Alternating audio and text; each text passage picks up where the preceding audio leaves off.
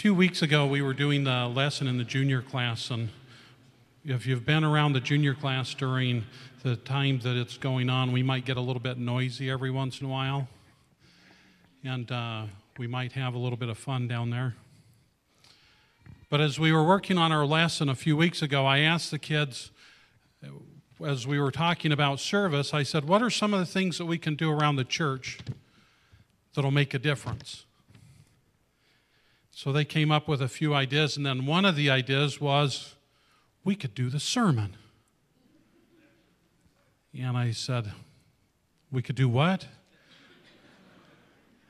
They said, We could do the sermon. So I said, Well, that is great, and I love that. And I said, Now, are you guys sure you want to do the sermon? They're, Yes. I said, Now, when that day comes, I said, We go to do the sermon, are you going to show up? And they said, Yes. And this morning, three of them showed up. I said, Did everybody remember? Or maybe they needed to remember. And so, what I'm going to do is, I'm going to have the, I'm going to introduce the juniors because I told them I wasn't going to make them come up front, but I would want to just introduce them. So, I'm going to start over here and have all of you guys stand up. They're sitting all in the front pew, so all of you stand up. When I call your names, you can just wave. We're the ones that uh, have fun in class. Are you guys ready? So, Courtney, if you don't know Courtney's parents, they're Angie and Larry, and they are awesome. Courtney's awesome. And then Marilyn, and Marilyn is, what are you, about number four of the girls in your family? They're just a whole bunch of really neat girls in her family. And her sister over here is Rachel and they're a lot of fun to have in class. And then um, I forget this one's name. Oh, wait a minute. I don't forget. This is Bethany. And if you don't know Bethany, her mom teaches in the cradle roll and has been doing it for a long time. And she does an amazing job down there. And then her dad is the head deacon here, and he makes sure that everything runs smoothly. She even helps him out a little bit. She gets him out of bed in the morning, I think.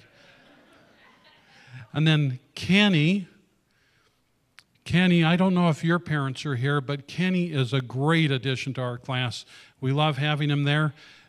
Ken, I'm sorry. And the other thing that you need to know is if uh, you're going to get in trouble speeding a little bit, his dad might be the one notifying you that you're going a little too fast.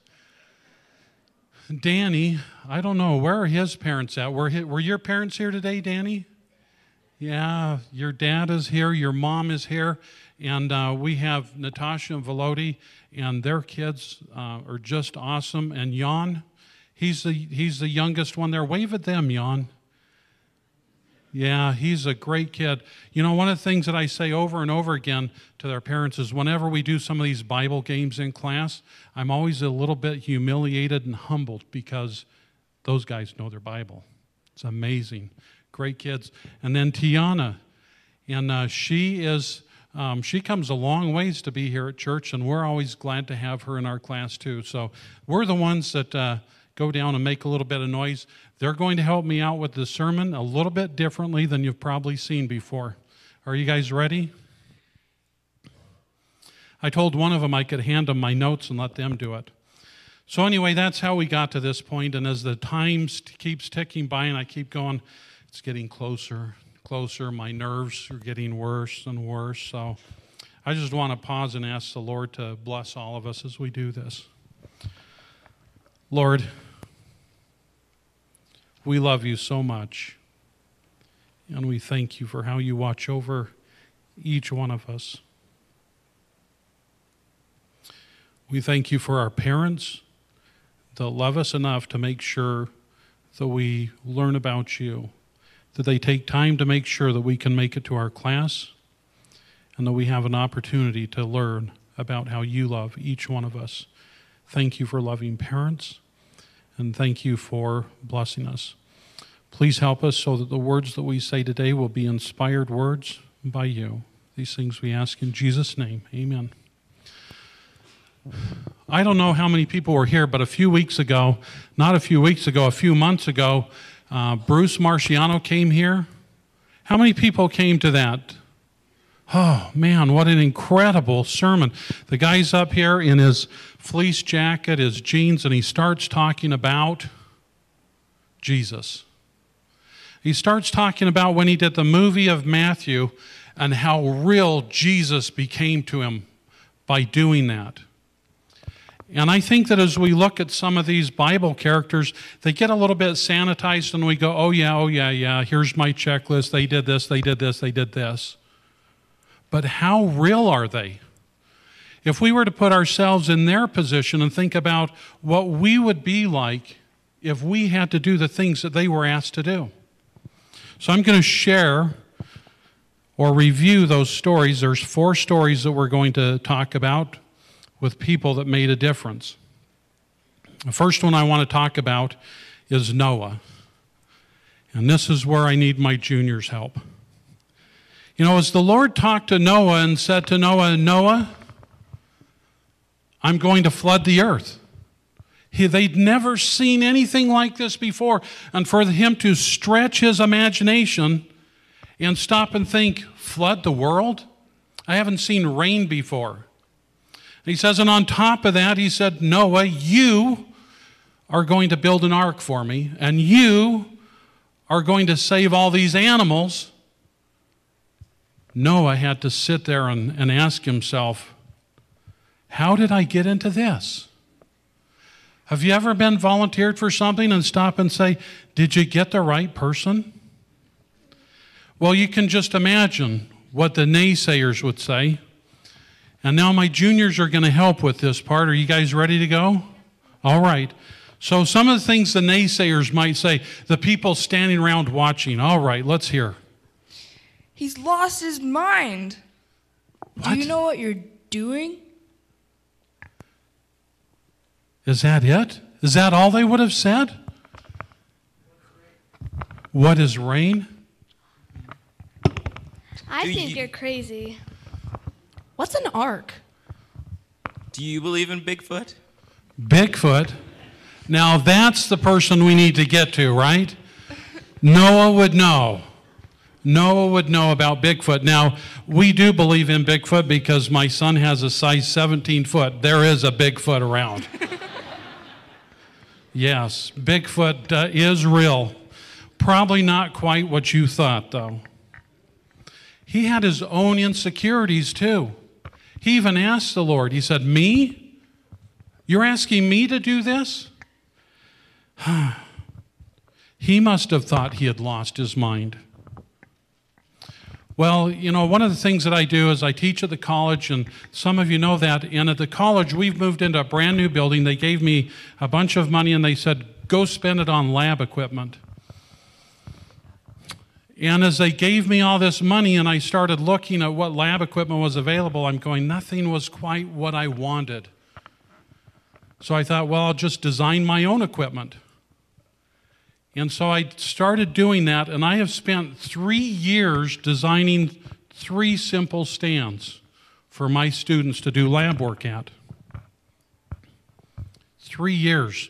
Well, I go out there with the students and we put them together, and I go, okay, take this part and let's change this. And then they put it back together, and they go, ah, that's still not right. Let's, let's change it again. But can you imagine what it was like for Noah as he's never seen an ark and he starts, starts going to work? I hope he had some uh, CAD program on his iPad. Somewhere that he could go and say, let me just sketch this up a little bit and kind of get my mind around it because he needed to build something that nobody had built before. And he also had to stop and think about how he's going to get the animals into the ark, how he's going to arrange them, the complications, the logistics. Incredible. Didn't stop him, though. What kind of job posting would, would the Lord put in the paper for that? What would they say? Uh, looking for an ark builder? What would the qualifications be? Something like a young man? Young man. He knew 120 years before the flood that it was going to happen. Somebody who works well with their hands. Someone with a knowledge of shipbuilding. What would he have said? Veterinarian, that would have been helpful. Or would it simply state someone who's willing to serve the Lord? Yeah. Well, let's look at Moses. There's an easy one. He wasn't asked to do too much. So Moses, we know how he was grew, he grew up in Egypt. He fled Egypt because he'd killed somebody.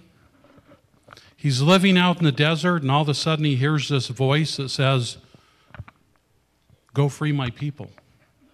Go to Egypt and free my people." Did he have doubts about his leadership qualities? Yeah, he did. As he uh, started looking at it, he even asked the Lord, and it says right there, Are you sure you want me? I don't even speak very well. There's got to be somebody else who can do this. I'm not a good leader. I can move sheep around. I'm not a good speaker. Think my brother Aaron might be the person you're looking for. But the Lord told him, No, I want you. Well, I don't think Pharaoh was very impressed with him. Even as he threw his staff down on the ground and it turned to a snake, and they threw their staffs down and his staff ate the snakes. And we know these stories, but I don't think Pharaoh was shaking in his boots or his sandals. I don't think that he was too concerned. Moses and Aaron met with Pharaoh over 12 times, trying to convince them to free the Lord's people. Don't you think at some point of going and asking over and over again that Moses must have been saying, I'm just not cut out for this? And as those plagues came, how were the Israelites with him? Were they very supportive, or did they say this is just part of the learning curve? Pharaoh's heart was still hardened. As Moses started to lead the Israelites out of Egypt, it says that there were 600,000 fighting men. 600,000 men. That didn't include the women and children. That didn't include the livestock. So let's try and get our minds around this number 600,000 men, but it was somewhere between 2.5 million and 3 million people that he was leading away from Egypt. So, what's the population of Spokane? Around 203,000. 203,000. So you take the entire population of Spokane, as you've been out driving, going to the stores and that, and you start looking at all the people in Spokane, and you take all those people times 10 and say, let's go camping. What's that? And no microphone, no batteries. Amazing amazing things. I mean, we stop and look at them, we just go through these stories and we read these numbers, but stop and think about it. We went to a Pathfinder event in Oshkosh, Wisconsin, and they had about, Mike, what was it, 80,000 people there? About 80,000 people. We were there for a week, and we were going, can you imagine what it was like for Moses? They didn't have porta potties. They didn't have portable showers that they were going to. It was amazing. Going and getting the food. If you take all the people from Liberty Lake, Millwood, Spokane, Spokane Valley, Valley, and you take the, the number of people from the census, we are now hitting almost 300,000 people. That's moving 10 times the number of people from the Spokane Valley area here and moving them through the desert. It's amazing what they did. Do you think there were conflicts? As they're moving through the desert, everybody's smooth, every, everything's smooth, everybody's in harmony with each other, right? Yeah, well, my juniors will help me out with this. Are you guys ready? So here are some of the conflicts that we can just imagine Noah had or Moses had going on. They took my tent stakes. They have your tent stakes? They use all the hot water. They took all the hot water? I think we should go be go. bleh. I think we should be first in line. We should be first in line for everything. What else would they have been saying? Was that it? Maybe they didn't like the color of the person's tent next to them. Could you get them to change their tent color? It is really not very attractive. I think they took one of my goats. Can you imagine all the conflict that was going on? Two and a half million people moving through the desert. What would Moses' job description look like? Leader with strong communication skills, strong diplomat, ability to think quickly on his feet, a lifeguard, or a willing heart to serve the Lord. A willing heart to serve the Lord. Gideon.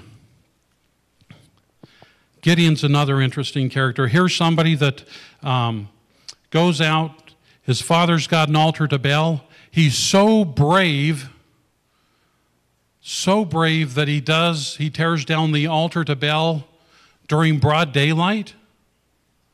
Or does he do it at night? I mean, there's a brave man, right? Where was he at when he was uh, when he needed to thrash the wheat? Do one of my juniors have that? What was he doing when he was thrashing the wheat? They said he was a chicken because he was in the he was doing thrashing it in the where they would crush the grapes. He wasn't real sure of himself. He was so unsure of himself that when he asked the Lord for directions, he didn't ask just once, but he asked twice and asked the Lord for help. So here he is. He goes around to all the different clans and he says, We're going to go and free ourselves from the Midianites. Who's with me? And he starts getting all these people together. And 32,000 men come down. 32,000 men come down. And the Lord says, It's too many. It's too many people. Tell the ones that are afraid to go home. He tells the 32,000 fighting men, anyone who's afraid, nervous about this, you can leave. He turns his back, and 22,000 people leave. What do you think the people were saying about that? How is he going to win? How is he going to win this battle if people keep leaving before the battle starts? He must not have much military knowledge to let this many people go. Why does it matter how we drink the water? So as he started paring down from the 10,000 to 300, he goes down and he says, Watch, how, the Lord says, Watch how they drink the water. That'll tell you. Well, I just know that if I drink my water and I don't spill it all over me, that I'm doing good. But the Lord actually knows which one of those men are committed. I think Gideon, those 300 men, must have been the first special forces people. 300 people to go and free themselves from the Midianites. So as they go down charging towards the village with their trumpets blaring, the Midianites just give up.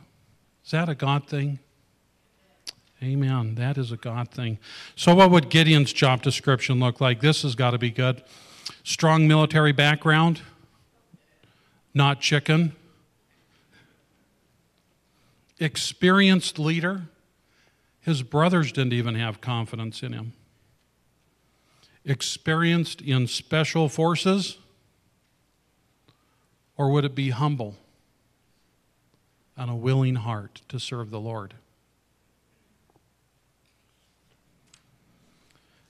Here's another great character from the Bible. I mean, you stop and think about we we just kind of go through those stories and read through them. We don't stop and think about what it was really like. If you put yourself in their situation and all the things that go through your head, there's just one thing that's important. Here's David. Uh, David is the third, the fourth son.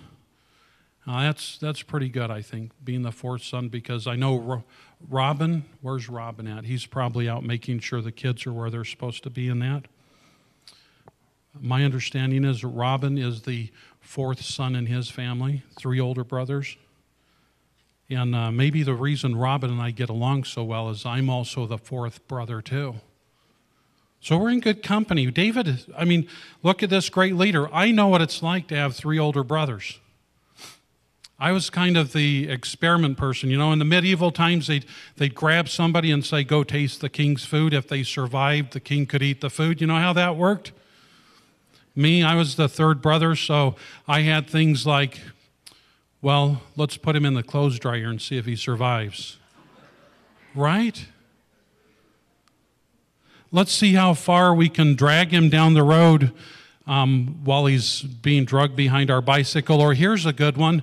Let's see if we're all riding our bikes and he has the other end of the rope and we turn a different direction than him. What happens? Oh, it was fun. Loads of fun. How much confidence did David have? Know, while he was out tending the sheep, he told Saul later on, he said, I fear nothing because I know the Lord is with me. He said, I've seen a lion take off with one of my father's sheep. And I went out there and I grabbed that lion and I grabbed that sheep out of its mouth. I've seen a bear take off with one of my father's sheep and I chased it down and I took that sheep away. Pretty confident. I think David walked with the Lord. He knew when he went out there and he saw all those people cowering back. And he saw Goliath standing out there taunting him. And he looks at Goliath. and He says, It's no match for the Lord. The Lord is way bigger than him. And as he goes out there, and his brothers say, What are you doing? Are you just trying to show off? Are you just trying to impress everybody? Who do you think you are? But David stood strong. And as he grabbed those stones and he took his sling and he went running towards Goliath and he let that rock fly and knocked Goliath to the ground. What were the people saying then about that small boy? There was no fear in him. He had that one job qualification that we're looking for.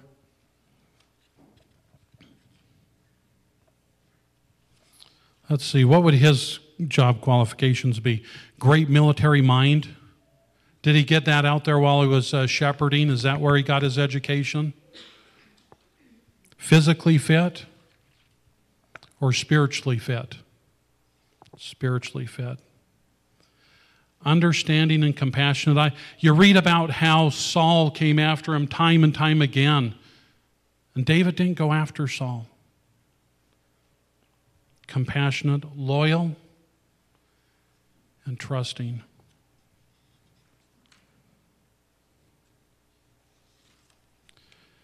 So I think back to the sermon of Bruce Marchiano, and they put out the call, the casting call, looking for somebody to play the part of Jesus. Did he read that and say, Yep, I'm the right person for that? If you remember, he said, I'm not sure about this role. There are a few people not sure about that. But by him being willing to take on that role, he gained a blessing and he shares that blessing with us.